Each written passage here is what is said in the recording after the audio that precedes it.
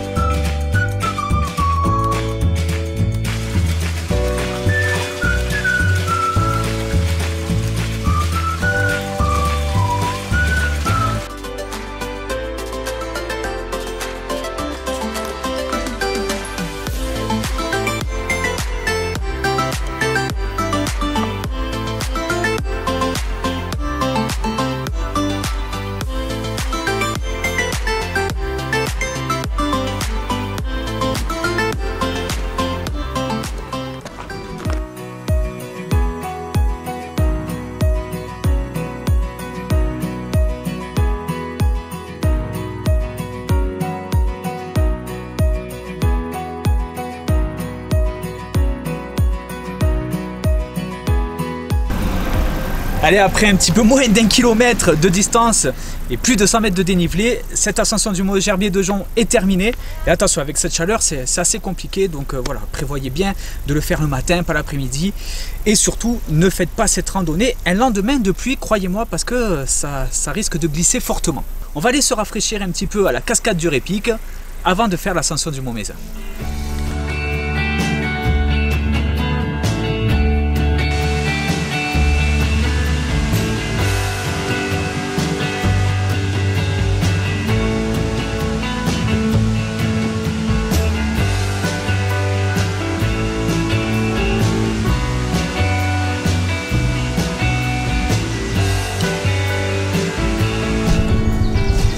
Allez, c'est au col de la Croix de Boutière que je vous récupère. On est toujours dans le département de l'Ardèche, mais on va entrer dans le département voisin de la Haute-Loire parce qu'on va faire l'ascension des monts Mézins. Et oui, il y en a deux, je vous l'expliquerai quand on sera au sommet. C'est une randonnée d'environ 6 km 5 pour 250 mètres de dénivelé et 2 h 2h30 de marche. Donc voilà, ne vous inquiétez pas, ce n'est pas l'ascension la plus dure que vous ferez dans votre vie. Et on a en plus des super panoramas au sommet avec table d'orientation et tutti quanti. Allez, c'est parti, on y va.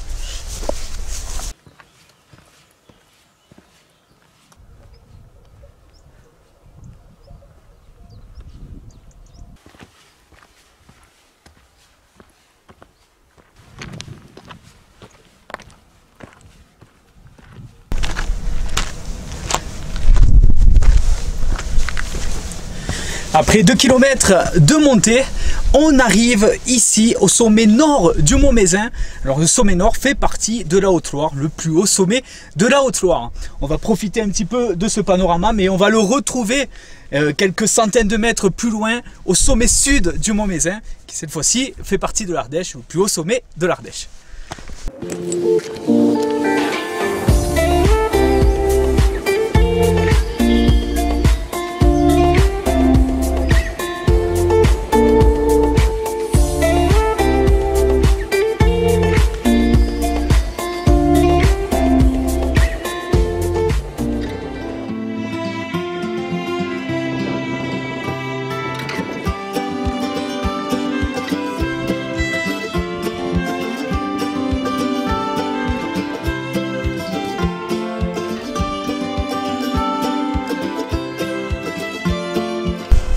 Allez, après environ un petit kilomètre 5 de descente, on arrive ici à la croix de Pecata où on va récupérer le balisage rouge et blanc du GR7 commun avec le GR420.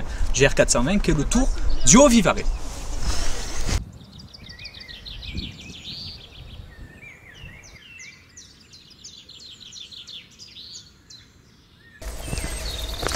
Il me reste une petite centaine de mètres avant de retrouver le col de Boutière et terminer cette randonnée.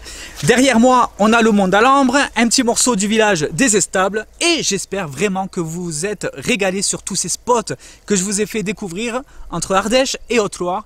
Évidemment, l'itinéraire rando du Mont Mézin, vous le retrouverez sur le site des Escapades de Mika. Il ne me reste plus qu'à trouver de nouveaux itinéraires de façon à essayer de vous faire rêver pour les prochaines escapades en vidéo. En attendant, ben, portez-vous bien et je vous dis à très très vite pour de nouvelles balades. Bye bye les amis.